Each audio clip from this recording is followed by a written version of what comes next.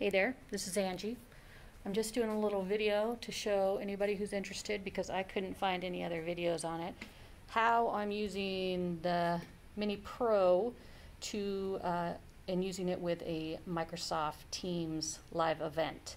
So I'm going to show you how I have it all set up and it worked really sweet. We just had one and it was great. So uh, I have the Video Pro. Um, I also have two cameras set up to it, um, a laptop, and then one mic that I brought over here. I had one mic down at the end of the of the table because that's where all the presenters were. Uh, we also had one remote person that came in uh, during the meeting.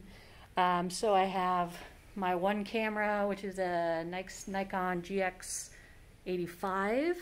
Um, I've got the HDM out running out to uh, number two in the back here.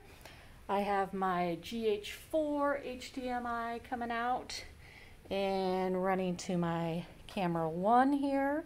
And then I've got my laptop running PowerPoint and it's running from HDMI out to number three in. And then I have my HDMI out going to a monitor. And then I also have the um, the control, the USB out, and it's going out, and it's going out, and it's going out, and into the USB of our computer. And then the computer thinks that uh, it's the webcam, so our camera is the Black, Magic design, and then the microphone is also the Black Magic design. Um, and then throughout the presentation, we had I had mic, uh, the mic on.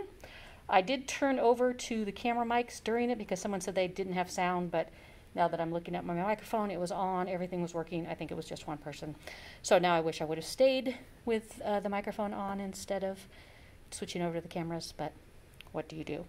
Um, and then what we do is I go from having a wide shot to having one camera that gets every person that's kind of presenting. So I can go from a wide shot to kind of a one shot. And then they have a controller, and each person has uh, their slides up on the PowerPoint. Um, I put that up, and then they can see their slides up on the screen so uh, they can move it themselves. Um, I think that's about it. Um, it's all worked really well, um, and also the the headphones have to come out of the monitor, which is kind of a pain because when we have videos, um, it's no one else can hear it except for me, and so that's kind of a pain. But you know what? It's it's one of few things that that I don't like about the Black Magic. The Black Magic has been awesome. Um, I also want to tell you that I did go into the Black Magic software before this forum. Um, my microphones were super loud, like as in loud hum, like maybe you were getting phantom power or some kind of problem. Um, if you go into the audio settings on your you know laptop or computer and go into the the um, software on that, you can go in and change the microphone inputs from microphone to line and that fixed everything. So the microphones today were super clear, everybody could hear them. It was great. So that might be a trick uh, that someone might want to use. Um, if you have any questions or comments, put them down below, and hopefully this was helpful to you. Thanks. Bye.